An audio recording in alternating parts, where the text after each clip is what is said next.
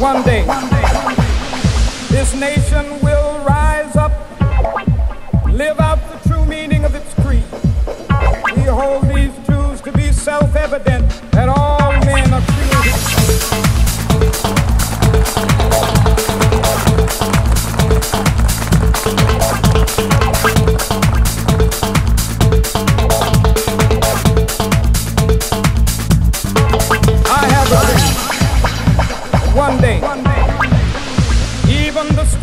Mississippi, a state sweltering with the heat of injustice.